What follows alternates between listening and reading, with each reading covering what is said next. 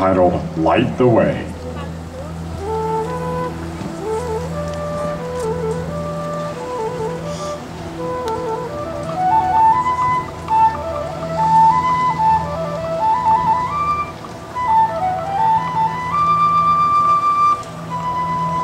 Drum majors Sarah Ennis and Joey Syed, you may begin your performance for the UIL Region 13 Marching Band Contest.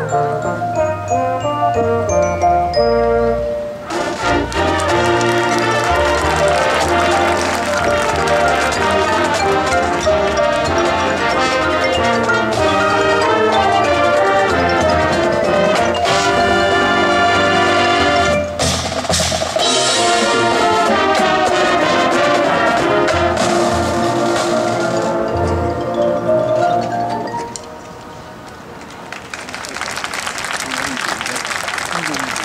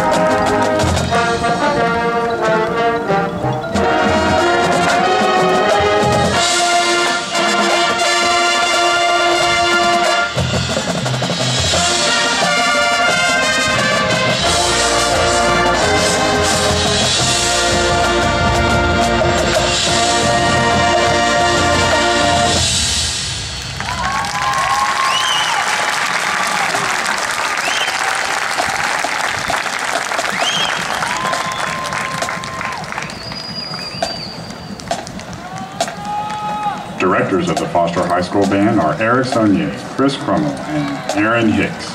The principal is Jerry Kipping. The superintendent is Dr. Thomas Randall. Ladies and gentlemen, please give one more round of applause for the Foster High School Band.